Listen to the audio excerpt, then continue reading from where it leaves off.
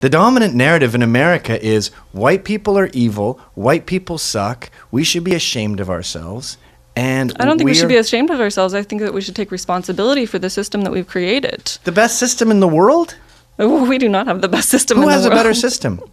There are many European countries that have are much better off. Oh, you us. mean like the European countries with a higher density of whites, like Northern Europe? Uh, that's one way to phrase it, I guess. You don't mean Turkey. No. You don't mean Eastern Europe No. with the communists. So the only time you can come up with a system that's better than America, it's a country that's more white than America.